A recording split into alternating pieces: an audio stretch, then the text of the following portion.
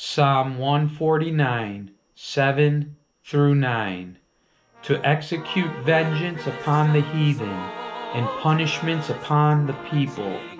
To bind their kings with chains, and their nobles with fetters of iron. To execute upon them the judgment written.